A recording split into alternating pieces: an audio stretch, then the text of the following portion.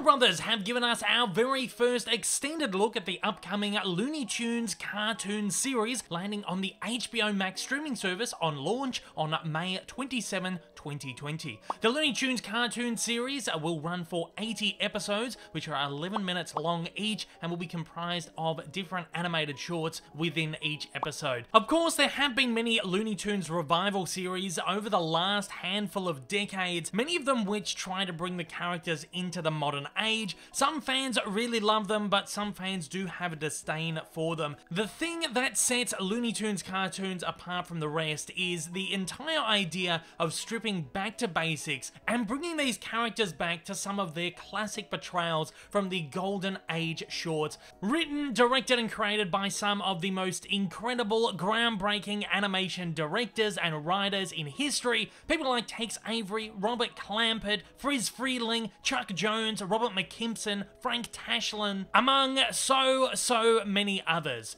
And for me, someone who is a huge fan of the classic Looney Tunes cartoons, this series looks absolutely fantastic. What I want to do with this very short video is just kind of break down this trailer that we've been given from Warner Brothers and kind of pull out a few things that really stand out to me as really, really special about this. One of the things that gets me really excited about this series is that its production has apparently gone back to a really classic old studio system way of doing things in which different directors, writers, and artists are kind of paired off to go and create their own individual shorts with their own individual styles, whether that be artistically or narratively. Now, of course, this was the way that these shorts were created back in the golden age, where you had different writers and directors heading their own units and creating cartoons that not only reflected their own individual styles of humor or narrative storytelling, but their own individual art styles as well. And of course, this did lead to many characters having different iterations over the years. Bugs Bunny could look different from one cartoon to the next.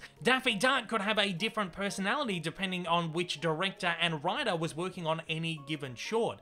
Of course, these are all things that I cover regularly on my Cartoon Evolution series where I chart the histories of classic cartoon characters. If you haven't checked that series out yet, please take a look at some of those videos that I've put together. I'll put a little hyperlink at the end of this video. Video, hit that subscribe button down below so you don't miss another one. But this is something that we have been promised with this upcoming Looney Tunes cartoon series, and as an animation historian, as a, a lover of the classic Looney Tunes cartoons, I'm really, really excited to get back into some classically inspired Looney Tunes cartoons. One thing that has stood out in this trailer to me and to many others that I've seen online is that Bugs Bunny is being depicted in yellow gloves and not white gloves. Now, of course, this harkens back to the classic appearance of Bugs Bunny pretty much before he was Bugs Bunny. Some of his earliest cartoons, he was depicted wearing yellow gloves. What I love about the incorporation of the yellow gloves here, even though they kind of maybe look a, bit weird, we're so used to seeing Bugs Bunny in white gloves, that has become like the iconic staple of his character.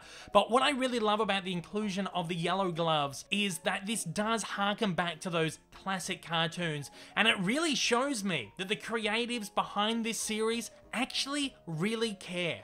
They care not only about creating really great little cartoons, but they care about the legacy of the characters that they're handling. Now, I'm sure the creators of most of the Looney Tunes series in the past have had a real appreciation of the legacy of the characters, but sometimes I feel like studio mandates might get in the way of that as it doesn't quite shine as clearly as I kind of see it is here.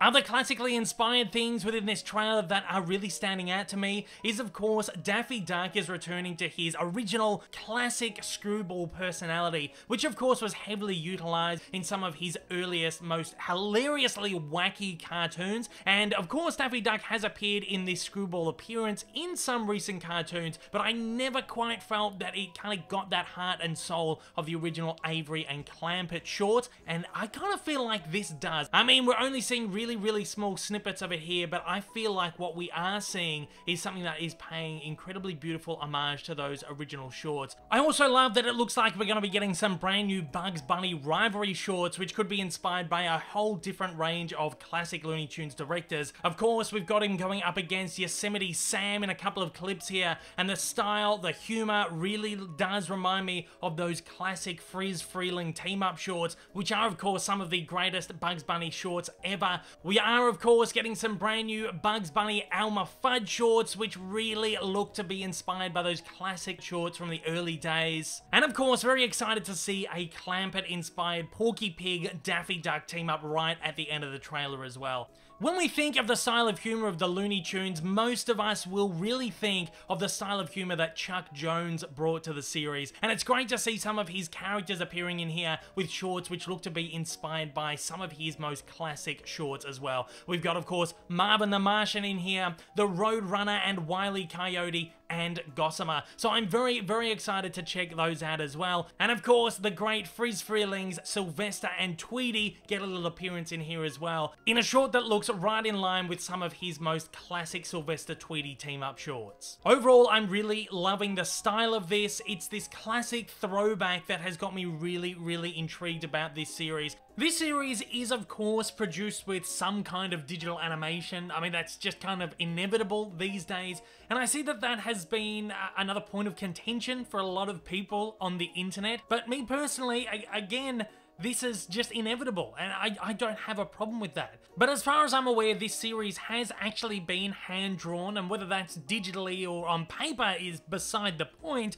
What I really, really like about the style here is that the animators, the artists have actually gone to what seems like extra length to make this series visually look like the classic cel-drawn animated cartoons. If you look at some of these frames and you didn't know, you could probably swear that this was cel animation.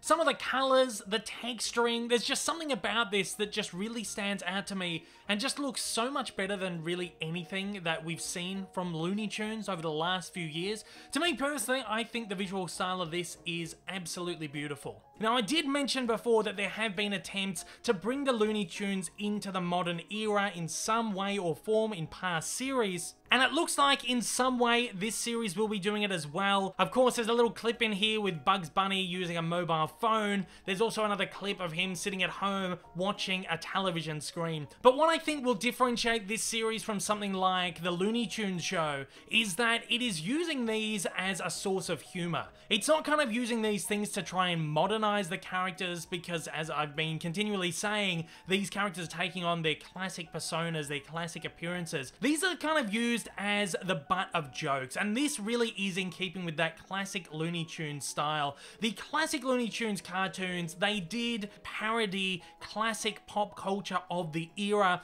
and it would be very strange if the modern Looney Tunes cartoons didn't do that in some way or form as well. This particular clip here of Bugs Bunny watching one of the streaming channels on his television actually made me laugh quite a lot. It's very, very clever. And it is in line with what was then modern parody, modern gags in those classic Looney Tunes cartoons. You do have to bring some sense of modernity into the series, and I think if it's handled correctly, which it looks like it is here, it can be a whole lot of fun, and it will be organic, and it will flow very, very well.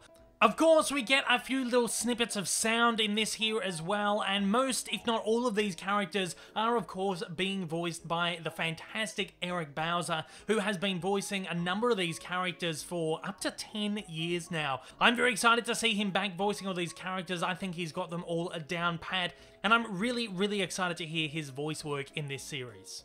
So overall, of course, again, I'm very, very excited to check out this series. It has ticked all the boxes for me so far. Granted, we've only seen about a minute and a half of a promised 1,000 minutes worth of new cartoons, but this is an absolute win for me so far. But how about you guys out there? I want to know what are your thoughts on the trailer for the brand new Looney Tunes cartoon series? Are you excited to check it out or has this kind of turned you off seeing it? Hopefully it hasn't because to me this just looks absolutely fantastic. But I do want to hear your thoughts and opinions, so fire away with them down in the comments below.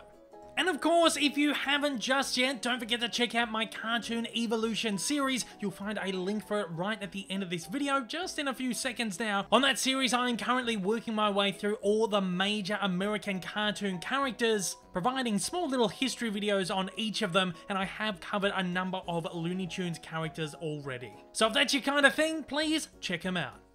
If this is your first time viewing one of my videos and you'd like to see more like it in the future, then please don't forget to hit that big old subscribe button up on your screen, as well as that like button down below for that little extra support. Also, don't forget to check me out on social media, and please consider supporting me over on Patreon. Thanks for watching, and have a fantastic day.